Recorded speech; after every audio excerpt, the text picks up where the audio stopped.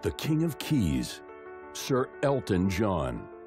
With a career spanning five decades, Elton John has mixed the pop and rock styles to become one of the biggest musical icons of the 20th century. I've had a most amazing career. And, you know, you have to say, enough's enough. And what's the most important thing in one's life now? And it's the children. They've changed our lives.